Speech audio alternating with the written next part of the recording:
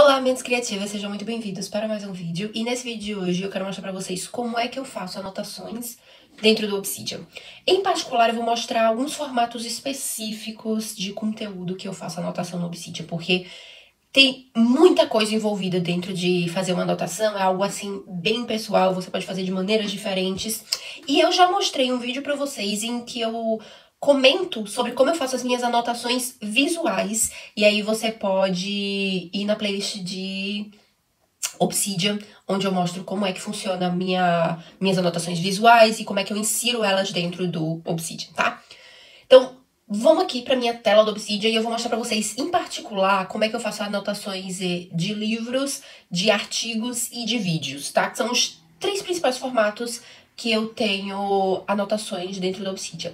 Existem outras anotações que surgem eventualmente de outras fontes de conteúdo, mas essas aqui, elas são sempre recorrentes, principalmente as de vídeo. Eu faço muita anotação de vídeo é, direto aqui no Obsidian. Outro detalhe importante é que eu comecei a usar o Obsidian como meu sistema primário de anotações há poucos anos. Então, existem anotações de livros minhas que estão no formato físico, estão aqui nos meus caderninhos que ficam desse outro lado aqui. É, e são anotações visuais, outras são só anotações de texto. E eu até passei algumas pra cá, outras eu não passei, porque assim, a gente tem trabalho na vida, a gente, né? Não tem tempo de fazer tudo isso. E elas estão registradas, estão organizadas aqui, então eu não acho que seja um problema elas não estarem no meu Obsidian aqui. Apesar de que eu não tenho aquele conteúdo pesquisável, né, de fácil acesso aqui, mas eu tenho ele registrado. E se eu já li o livro, eu vou saber que se não tá aqui, tá em um dos meus cadernos. E eu tenho registro, né, dos anos em que eu li aquele livro, então eu posso voltar em qual eram os cadernos que eu estava usando naquele ano e acessar aquelas anotações. Então não é exatamente assim tão perdido. Eu consigo acessar elas também. E eventualmente, quando eu tenho um tempo livre, quando eu tô de férias e eu sinto a necessidade de recuperar aquele conhecimento daquele livro específico, de alguma anotação específica que eu fiz, eu acabo voltando naquele caderno e se eu achar relevante, eu transfiro coisas aqui pro meu Obsidian. Mas por enquanto tá funcionando esse sistema e hoje, como eu já uso Obsidian, tá tudo aqui, tá? Então vamos pra lá. Pra lá. Primeira coisa para eu contar para vocês, né? Aqui nas minhas árvores de conhecimento, se você procurar, né, o articles, books e videos, você já vai conseguir ver a quantidade de anotações que eu tenho em cada um deles. Você vai ver que vídeos ganha assim, disparado. O que eu vou fazer aqui é abrir algumas anotações específicas e mostrar para vocês como é que elas estão feitas e qual foi o meu processo para fazer aquela anotação. Que aí pode dar para vocês algumas ideias de como é que você pode proceder em registrar conhecimento. É, se você tiver alguma dúvida sobre o método Zettelkasten, porque eu vou falar um pouquinho dele aqui, né? Ele vai estar um pouco ligado a algumas dessas anotações. Tem vídeo meu também falando como é que ele funciona e como é que eu uso ele, né? Tem umas modificações pessoais nele. Vamos aqui para Books. É, eu quero mostrar para vocês de Books esse Project 333, é o primeiro, porque ele é uma anotação super estupidamente simples. Ele é só uma definição do que é esse projeto 333. Tá? O nome do livro é esse, Projeto 333. E é um livro que faz justamente isso que eu anotei aqui. É, é um projeto que faz justamente isso que eu anotei aqui. É um projeto é, na linha de minimalismo fashion. Então, a autora, ela explica é, como é, essa sobrecarga de você ter um monte de roupa, de ter um monte de coisa, tava fazendo mal para ela. E como ela desenvolveu esse projeto de usar 33 itens de roupa apenas é, durante três meses. Então, é por isso que é 333. 33 durante três meses. E isso inclui acessórios, sapatos, então são só 33 itens de roupa aqui. Então eu, eu basicamente explico isso aqui e digo que é, quem desenhou esse desafio e tal. Uh, eu tenho aqui é, essa anotação geral aqui, onde. Eu acho que ela tá vazia, na verdade. É, ela tá vazia. Porque é, eu pensei em voltar no livro e pegar mais insights. Só que aí eu lembrei de uma coisa que eu tinha anotado em um dos meus caderninhos, porque eu tava tomando anotações nesse caderninho, que é, isso, é o, isso aí é o resumo do livro. É, é justamente isso, o resumo do livro. É o desafio. O que ela faz mais no livro é discutir a, a, as vantagens, os benefícios desse desafio, do ponto de vista psicológico, físico, né, de, de espaço e tal. E ela também discute exemplos de outras pessoas que adotaram esse desafio, como essas pessoas fizeram, como elas modificaram o desafio para as realidades dela. E isso eu achei bem legal. E se eu quiser, eu volto nessas referências e vejo inspiração para realizar esse desafio também. É, então, é, é só um conjunto de experiências lá, fora dicas sobre o projeto. Então, eu achei que isso aqui era um resumo suficiente sobre o livro. Inclusive, eu vou aqui aproveitar que eu estou com essa anotação aberta para não esquecer. E eu vou deletar a outra. Porque, como eu falei, eu senti que não tinha necessidade de eu fazer ela. Então, é isso. E eu vou abrir de novo a de livros porque eu fechei aqui. Ups. Ok, bons. Pronto, então essa foi bem simples. Foi só realmente a descrição do conceito do que é que tá. do método que tá sendo explicado ali. E se eu quiser mais detalhes, eu volto no livro e vejo mais exemplos. Eu tenho marcações dentro do meu livro digital que podem me ajudar a fazer isso, mas eu achei que não era algo que ia. É, a gente tem a palavra resurface, né? Ressurgir dentro do meu sistema de anotações no Obsidian, dentro desse mapinha aqui. Não, não era relevante tá aqui, tá? Se eu precisar, eu sei onde encontrar. Deixa eu ver, eu tenho outro. Deixa eu ver outra anotação. O Eat the Frog também é nessa mesma linha do projeto 333. Ele tem a definição do que é esse método aí e foi o suficiente para mim, porque no, ao decorrer do livro ele discute exemplos, formatos, é, faz a discussão em torno desse tema aí e eu achei que só descrever o método estava ótimo como resumo.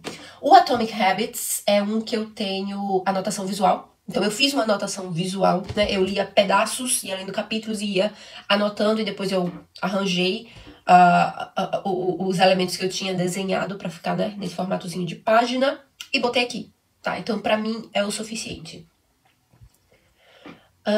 e deixa eu ver se eu tenho mais algum diferente. Uh, esse aqui é legal. The Midnight Library. livro muito bom, inclusive. É um livro de ficção, é a história de uma mulher e tal mas ele traz umas coisas de psicologia, sabe, embutidas ali uh, dentro do da história que já é muito boa, que vale muito a pena. Então, é, eu geralmente não faço tantas anotações de livro de ficção, porque é um livro de ficção, sabe? Você tá ali aproveitando a história, é um negócio para você realmente aproveitar. E aí por eu não fazer essas anotações, eu não tenho tantas anotações de livros de ficção. Geralmente minhas anotações são de livros mais de desenvolvimento, produtividade, uh, criatividade. Livros que, que tem, assim, algum conteúdo mais indo pro lado acadêmico, sabe? Coisas que você pode anotar e estudar, digamos assim. Mas esse aqui, por conta desse teor psicológico, ele fala de é, problemas psicológicos, solidão, é, uh, me fugiu a palavra aqui. Mas ele, ele, ela, ela tenta finalizar a própria vida porque ela não se sente assim encaixada na, na sociedade que ela tá, as decisões que ela tomou, para onde a vida dela foi, ela não se sente bem. E a história eh, gira em torno disso, dela tentar acabar com a vida e aí ela vai parar nessa biblioteca onde ela pode acessar todos os as decisões que ela tomou, os livros das decisões que ela tomou e aí ela pode viver a uma decisão diferente ali, né? Tem todas as possibilidades que a vida dela poderia ter tomado, e aí ela pode escolher uma possibilidade diferente e viver aquilo. Uh, é basicamente isso. E aí, é, depois que eu terminei de ler o livro, eu gostei tanto, eu achei tão legal tudo isso que estava sendo discutido no livro, que eu disse, eu tenho que fazer um, um, apanhado de quais foram as lições que esse livro me deu, quais foram as que ficou comigo aqui no final. Terminei de ler, eu não vou, vou, vou voltar agora exatamente, mas terminei de ler. É, o que é que eu tirei disso? É, primeiro eu fiz uma descrição geral, né, do que é que eu achei do livro. Então, é, aqui tem a, o meu review, que é que, ah, eu achei que foi muito bom por conta disso, disso, disso, papapá. Então aqui sou só eu discutindo. E aqui os insights, né? Aí eu falo sobre arrependimento e sobrecarga, solidão, é, a vida cheia de decisões, nós somos imperfeitos. E aí eu vou descrevendo ali, né? Tô, tô lendo só os pequenininhos. Se você quiser saber minha review aí, se eu falar inglês, você pausa e dá uma lida aí. Então, eu, eu só saí digitando loucamente. Depois que eu terminei de ler o livro, eu disse, nossa, tem muita coisa boa nesse livro, eu vou escrever isso pra né, não, não deixar nada se perder. E aí eu saí digitando. É, isso, eu lembro disso, eu achei isso, eu vi isso, esse tema é discutido e tal. Uh, e aí eu escrevi aqui. Então, esse é um outro formato aqui desse livro. E os meus livros, meus, as minhas avaliações de livro, geralmente elas ganham é, a tag literature no nas minhas anotações, porque tem muito das minhas palavras ali. Eu pego o conceito. Vamos abrir de novo aqueles que a gente já abriu para mostrar para vocês. Uh, cadê o projeto 333? O projeto 333 é uma exceção e eu vou dizer por quê, tá? Uh, e o meu Atomic Habits. Eu tenho outros que são visuais também. Eu posso pegar aqui o Five Levels of Attachment, que é um livro uh, maravilhoso. Eu amei esse livro. Que é do Dom Miguel Ruiz. Então, tenho também a anotação dele aqui. E se eu abrir, ó, todos eles têm literature, por quê? Porque eu peguei os conceitos que estão sendo discutidos no livro, e aí eu parei, tá, o que é que ele me disse que esse conceito? Ele me disse isso, isso e isso, e dei a minha anotação aqui. Parece pequenininho, mas é porque eu consigo, tipo, abrir só a imagem, sabe? E ver só a imagem bonitinha, aí ele fica maiorzinho, enfim. É... Não é o que a gente tá vendo agora, mas vamos lá. E aí eu discuti com as minhas palavras aqui. Então, por isso que é literature, tá? Você voltar lá no, no, no vídeo sobre o Zettelcasting, eu explico a diferença entre cada uma dessas tags. E o de lit literature é aquele em que você discorre por você mesmo, né? Com as suas palavras, aquilo que foi dito e aprendido. Então, é um formato mais complexo, mais é, longo, porque você tá ali discutindo o que você tirou do que você leu, do que você viu, do que você assistiu, enfim tá? Então, eles têm literature. Mesma coisa pro Atomic Habits, se eu abrir aqui, ó, ele é literature. E mesma coisa, tem os tópicos que ele dá no, no, no livro. Uh, nem todos ele dá com imagem, esse aqui ele deu com imagem, mas nem todos ele dá com imagens. E aí eu botei as minhas imagenzinhas. Isso é uma forma de botar a minha interpretação no livro também. Na hora de colocar os itens aqui, eu coloquei os itens que eu lembrava depois de ter lido o capítulo, né? A parte que falava disso aqui. Então, literature, tem a minha percepção nesse treco aqui. E o The Midnight Library, obviamente, é literature, porque, assim, eu, eu depois que o livro terminou, eu fui, fui aqui botando as minhas percepções, o, o, o, meu entendimento, o que eu absorvi daquela história ali, tá? Ótimo livro, leio, vale muito a pena, é sério, muito bom, muito bom. A história é boa, as lições são boas, é fenomenal. Pronto. Já o projeto 333, ele tá como permanent. Por quê? Porque é um daqueles que eu falei para vocês. É só a definição do que é o projeto, né? O, o núcleo mesmo já é o suficiente para descrever o livro e o resto são exemplos, são experiências que são muito ricas, que são muito boas, mas se eu precisar, eu volto lá e vejo.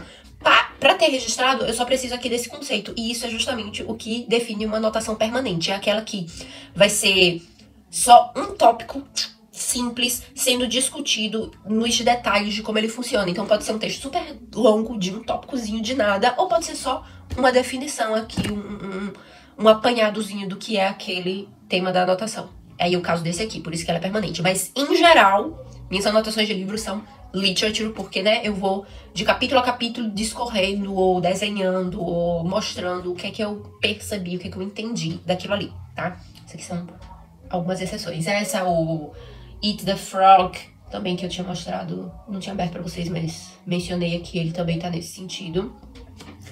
Uh, deixa eu ver se esse Crash Course in Creativity, que tem o seu mistura, não, esse também é anotação visual. The Magic Number tem alguma coisa já? Não, esse também é Literature, tem uns detalhes ali. Ele, eu acho que ele também tá como permanente, apesar de ele estar tá um textinho mais longo aqui, tá como permanente, é porque eu só peguei o, a definição. O autor desse livro, ele fala de um método de método de organização financeira, e aí ele discorre bastante sobre o método, dá exemplos, mostra como fazer os cálculos e tudo. E aí eu só peguei o método, eu uso esse método, mas pra ter aqui, é, eu não preciso dos cálculos, eu preciso da descrição. Olha, funciona assim, assim, assim, é isso que você calcula. Ponto. Acabou-se. Uh, eu queria ver se eu tenho algum aqui que mistura anotação visual com o, as minhas anotações próprias, porque eu tenho desses nos meus caderninhos, mas eu acho que eu não tenho nenhum aqui. É, eu acho que não. Mas pode acontecer também de eu ter, tipo, diagramas que eu achei muito legais no livro. Eu desenho eles da minha forma, ponho as minhas anotações assim do lado, que nem eu fiz, né, no Atomic Habits, né, ponho os meus, minhas formas de dizer aquilo tudo, e ao mesmo tempo eu vou te tomando anotação de outros tópicos em texto corrido. Pronto, é assim que eu faço anotações de livros. Eu não vou conseguir mostrar pra vocês nesse vídeo os artigos e os vídeos, mas eu vou trazer outros vídeos sobre eles, porque esse já tá muito longo, eu não quero crescer mais. Vocês tenham curtido. Me digam aqui embaixo o que, é que vocês acharam. Tem outras coisas que vocês consideram na hora de fazer anotações de livros? É, tem alguma dúvida que ficou em relação a isso que eu posso sanar pra vocês nos comentários aqui? Comentem aqui embaixo. Deixem um like se vocês curtiram esse vídeo. Compartilhe com alguém que você acha que pode se beneficiar desse material. Eu espero ver vocês no nosso próximo vídeo. E até lá, mantenham-se criativos.